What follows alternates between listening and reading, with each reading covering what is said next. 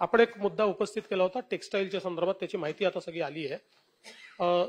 Additional सेक्रेटरींनी या ठिकाणी माहिती कळवलेली आहे. मुंबईतील टेक्स्टाईल कमिशनरचे कार्यालय दिल्लीला हलवण्याचा कुठलाही निर्णय झालेला नाही. मुंबई कार्यालयामध्ये पाचशेचा स्टाफ आहे. केवळ टेक्स्टाईल कमिशनर आणि पाच अधिकाऱ्यांना दिल्ली मुख्यालयी काही दिवस काम करण्यास सांगितले आहे. टेक्स्टाईल मंत्रालयाची पुनर्बांधणी आणि सक्षमीकरण तसेच टेक्स्टाईल उद्योगाला काही सवलतीच्या योजना फ्रेम करण्यासाठी त्यांना काही दिवस दिल्लीमध्ये काम करण्याकरता सांगितलंय. मुंबईतलं कार्यालय हलवण्याचा कुठलाही निर्णय झालेला नाही.